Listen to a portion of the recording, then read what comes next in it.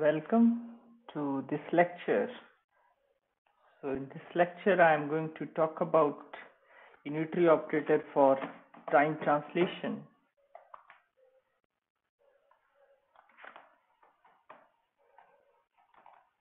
Unitary operator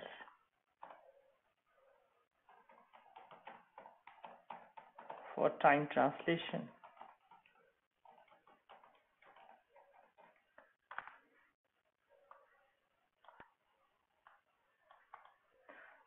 So before moving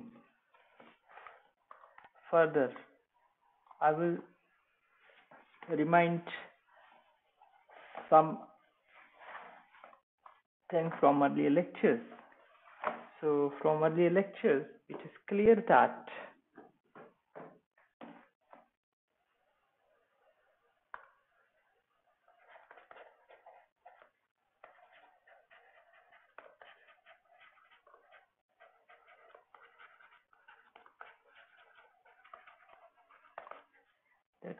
u epsilon t it's a unitary operator. It is uh, infinitesimally small unitary operator. So we have defined it in this manner in the earlier lectures.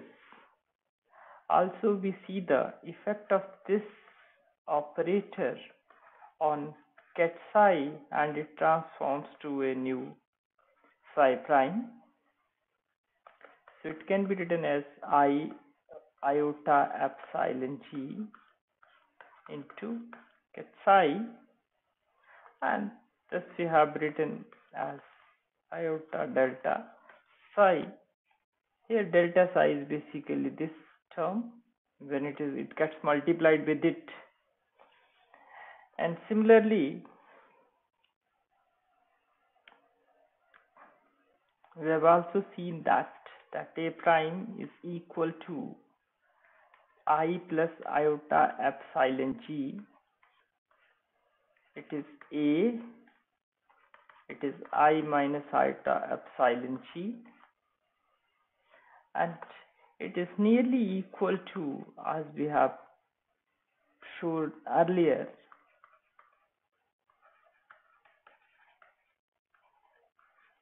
if you go through earlier lectures we have obtained this expression so now let a Hamiltonian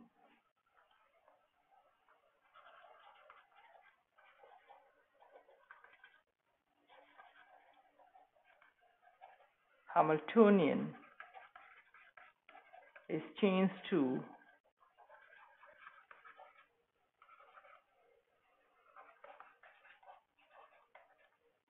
h plus delta h under time translation.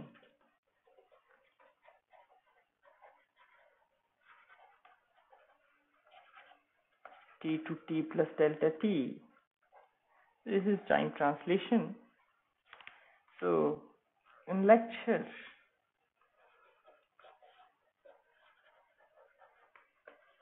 Two point one point one, we have seen that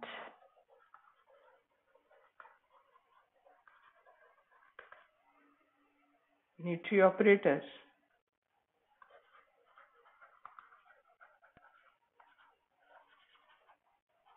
Operators can be expressed as time evolution operator.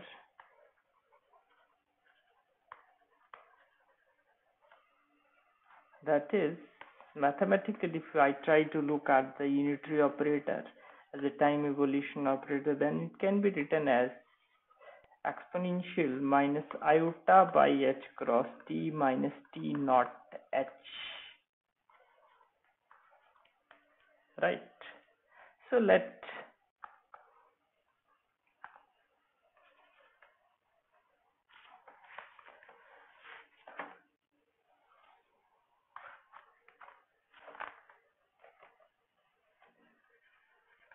let t naught is equal to 0 if I use this then I can express the unitary operator as exponential minus iota by h cross ht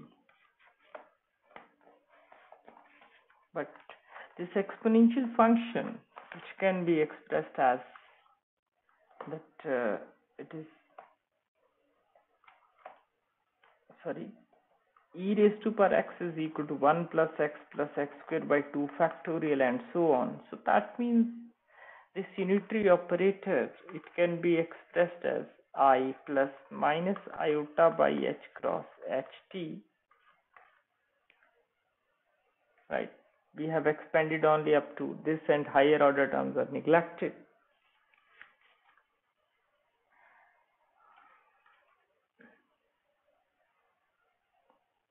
also we know that that u epsilon g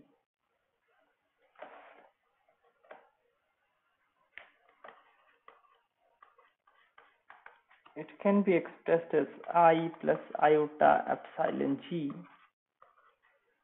So if it can be expressed and if I compare these two things that means in place of this G operator,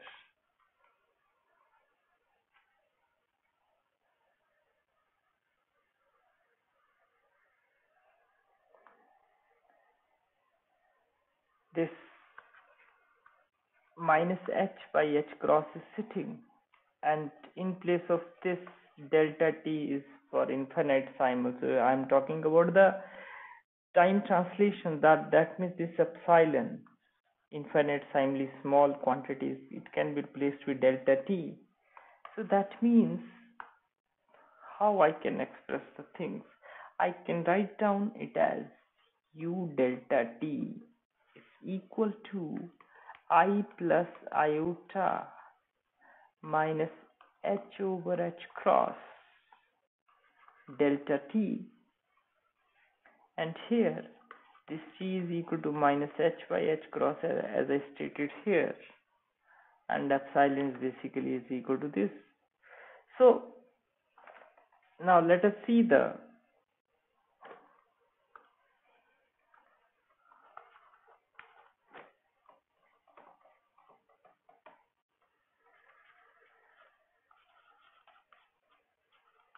let us see the effect of or see the application of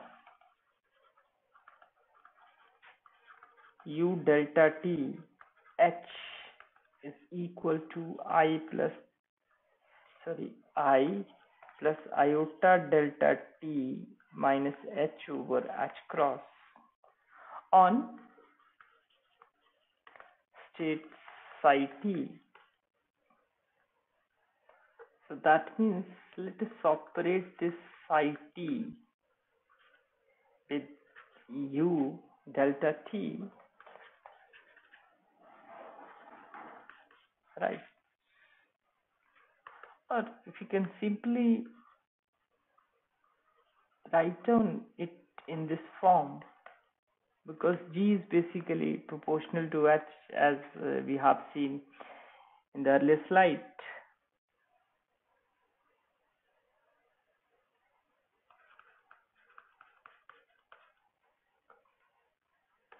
let me write down its value from here. If I write down its value it will become i plus iota delta t minus h over h cross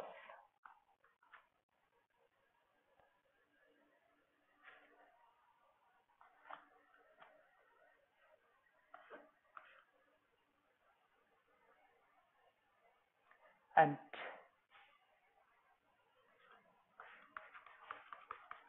psi t it is equal to psi t minus iota over h cross delta t h psi t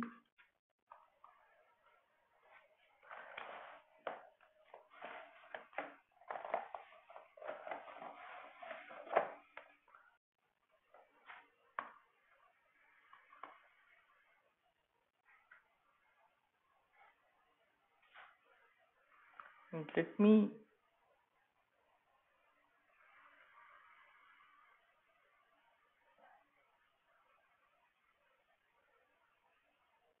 do one thing that uh, as we know from earlier lectures that since h psi t it can be expressed as iota h cross curly over curly t psi t.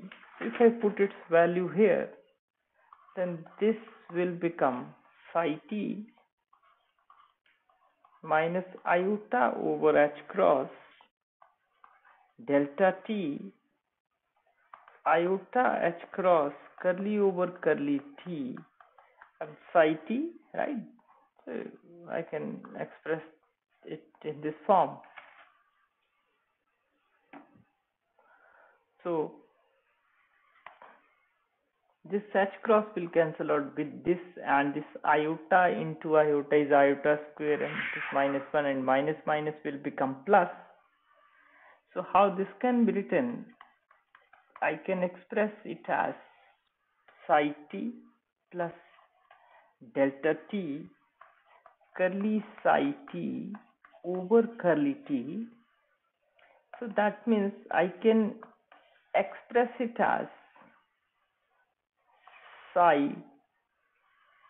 t, sorry, not psi t but psi t plus delta t right? So that means when a unitary operator psi delta t operates over psi t it gives us a wave function which is evolved with the time. So that means psi t plus delta t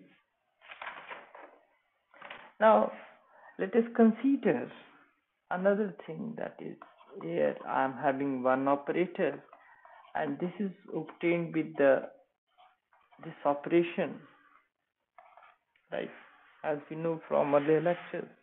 So in terms of delta t this can be written as u delta t operator into a operator and u dagger operator right? And this is basically the function of h and this is also function of h.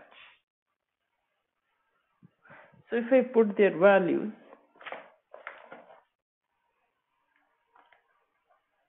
then it will become, it is i plus iota delta t minus h upon h cross into a again i minus iota delta t minus h, h over h cross. Also, I know from earlier lectures that a prime is equal to a plus iota epsilon g a right so if i keep this in mind then how things can be written it is A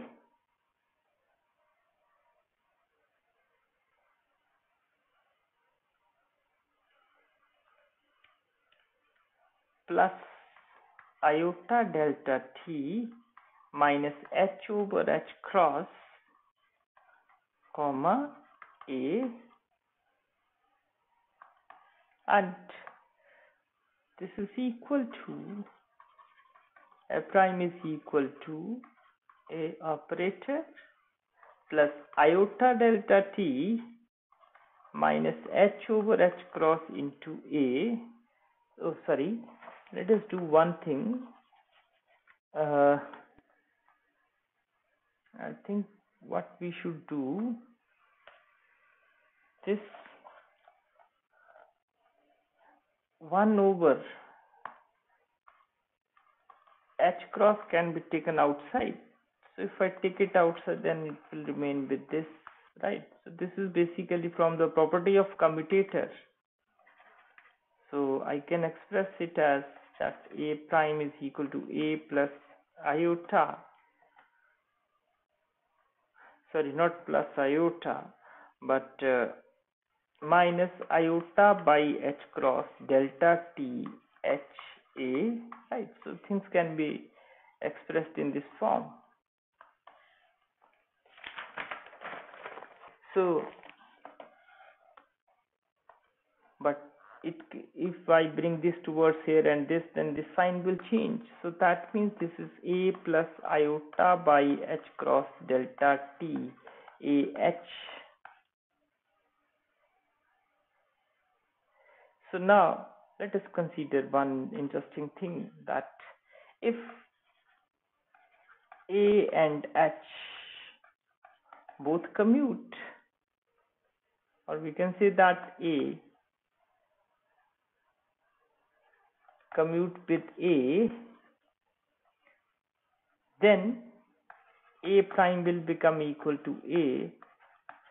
So that means we can say that this A is invariant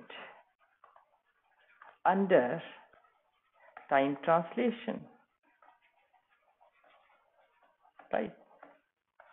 So with this, we have seen the effect of this uh, time translation over the state vector and an operator, right? So operator will remain invariant if it commute with the Hamiltonian. So that's what we are concluding out of it. So thanks for watching this lecture.